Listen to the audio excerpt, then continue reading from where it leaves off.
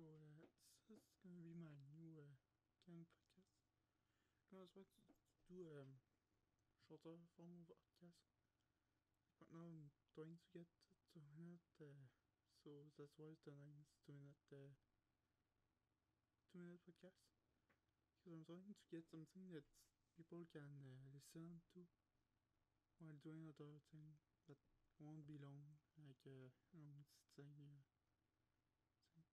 Can just uh, listen while while on the pause, something like that. You can break, something like that. So that won't be uh, like one hour that you need to stop so we take uh, the save it later. So gonna be my next.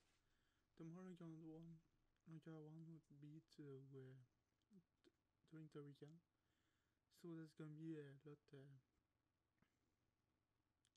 while because have more magic that on the weekend you have time, so can listen to a longer podcast. But on the with the weekday, like uh, can really sit for one hour and just listen to it.